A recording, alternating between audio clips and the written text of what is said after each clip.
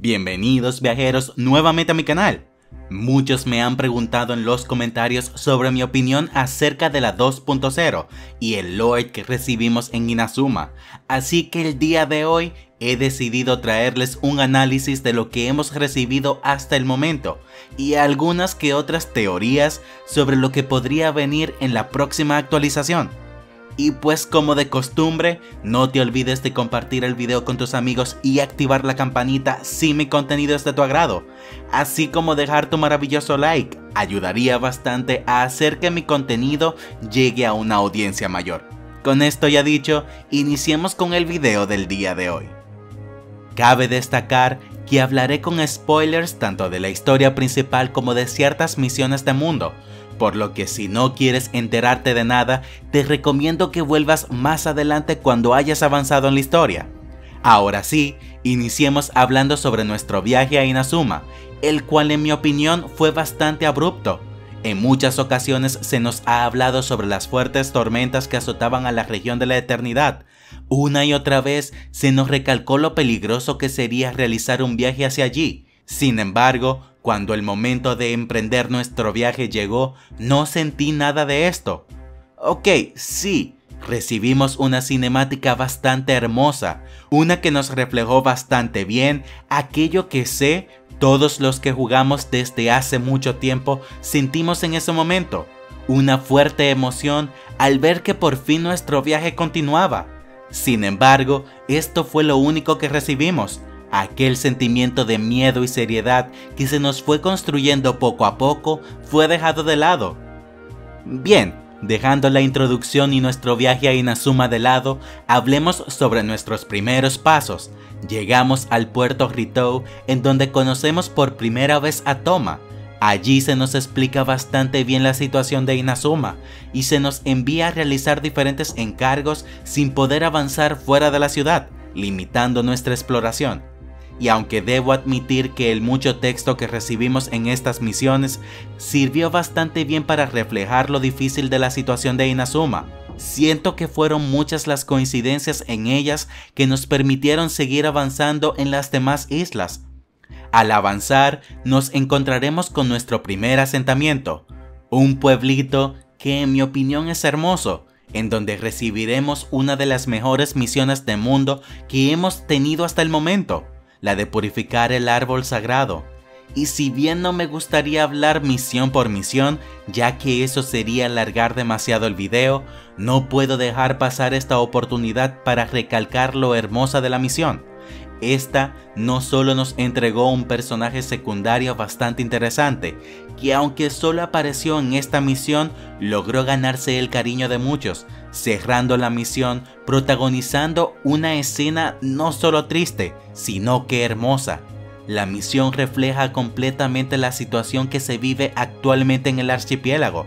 Nos recuerda una vez más que no estamos de paseo. Luego de esto, sucede algo que en mi opinión me gustó bastante, y es que tras completar ciertas misiones, conocemos a Kamisato Ayaka, quien nos propone ayudar a detener el decreto de Casa de Visiones, y esto no fue lo que me gustó, sino que fue la respuesta que dimos. Hasta el momento nos hemos visto envueltos en todo tipo de asuntos, desde ayudar a Devalin hasta preparar el rito de despedida sin oponernos a nada. Y al ver que por primera vez no estamos de acuerdo con participar activamente en lo que se nos está pidiendo, me alegró bastante, pues aunque no lo crean, esto ayuda bastante a la construcción de personaje y poco a poco ayuda a que comprendamos mucho más los deseos y motivaciones del viajero. Y sí, tras completar los encargos entregados por Yoimiya, cambiamos de opinión, pero esta vez tenemos un motivo para hacerlo. Simpatizamos con aquellas personas a las que conocimos, entendimos la situación en la que nos encontramos, por lo que decidimos ayudar dejándonos entender que el viajero, si bien no está interesado en meterse en asuntos de las naciones, es incapaz de ignorar a personas que en verdad lo necesitan. Pero siendo sincero, esto no es nada en comparación a la demás información que recibimos en esta misión. se nos menciona que las visiones albergan las ambiciones de las personas. Arrebatarles sus visiones es lo mismo que arrebatarles sus ambiciones, por lo que podríamos decir que las visiones son una materialización física de los sueños y los deseos de las personas. De aquí el que solo el portador de una visión sea capaz de utilizarla. También el que ésta se apague al morir el portador, pues junto a él mueren sus sueños y ambiciones. Dicho esto, continuamos con nuestra historia hasta encontrarnos con nuestra siguiente barrera, y es que por primera vez se nos obliga el completar las misiones legendarias de Ayaka y Yoimiya para poder continuar, algo que obviamente se hizo para alargar el viaje, llegando a ser un poco molesto a mi parecer, y aunque amé ambas misiones, no pude evitar sentir que estaban fuera de lugar. Desde antes de viajar a Inazuma, se nos habla sobre lo difícil que es la situación allí, nos infiltramos en un cuartel general, conocimos a personas cuyas ambiciones habían sido arrancadas y sin embargo nos vamos de compra con Ayaka. Aunque si dejamos esto de lado y el hecho de que el viajero rechazó una skin de parte de Ayaka, debo admitir que ambas misiones fueron hermosas, principalmente la de Ayaka, no solo fuimos capaces de conocer un poco más de las personalidades de ambas, sino que recibimos hermosas cinemáticas junto a la misión. Simpatizamos con Ayaka tras conocer su lado más vulnerable y nos sentimos halagados al ser capaces de presenciar su hermoso baile. Entendemos a Yoimiya al querer ayudar a un amigo que en ese momento lo necesitaba.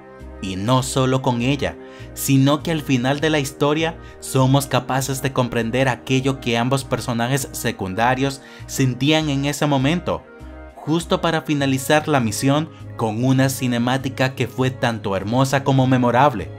Lo malo es que la felicidad no duró mucho tras esto, y es que inmediatamente tras realizar la misión somos capaces de continuar con la historia principal, en donde recibimos la terrible noticia de que Toma fue arrestado y de que será el próximo en perder su visión, por lo que rápidamente nos ponemos en marcha al lugar en el que viviremos uno de los momentos más épicos hasta el momento.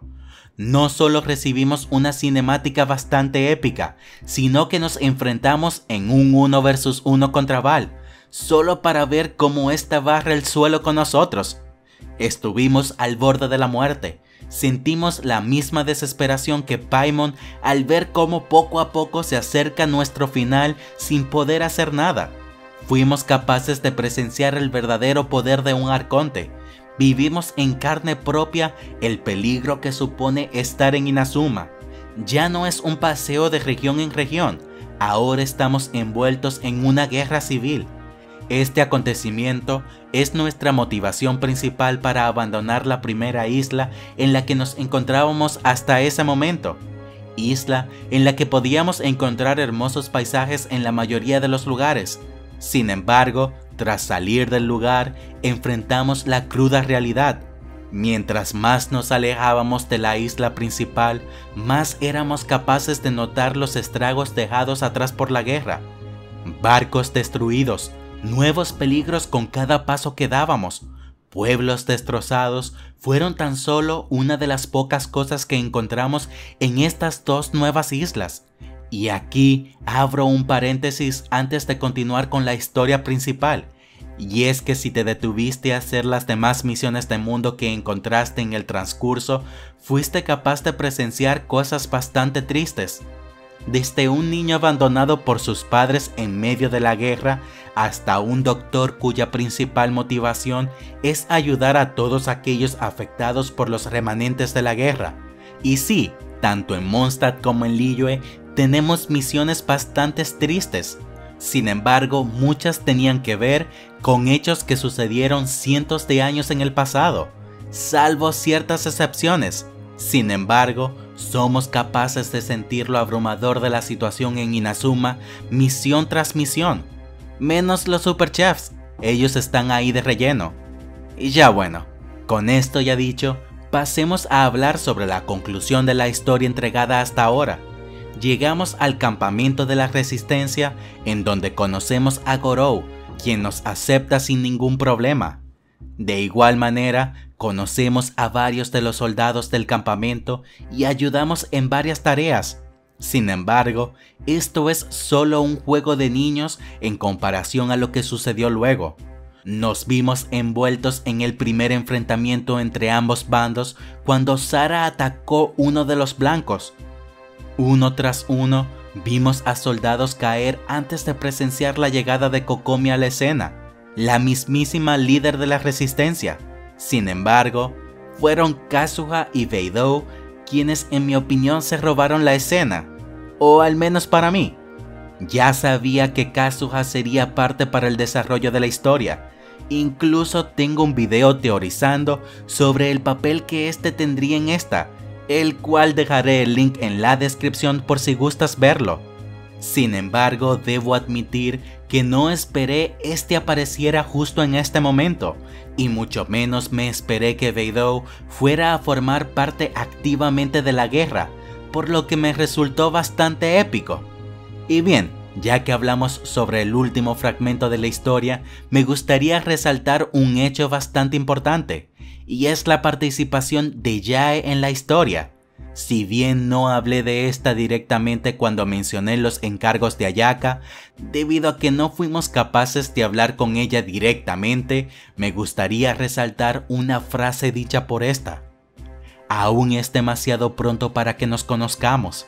Sin embargo, llegaste justo en el momento adecuado.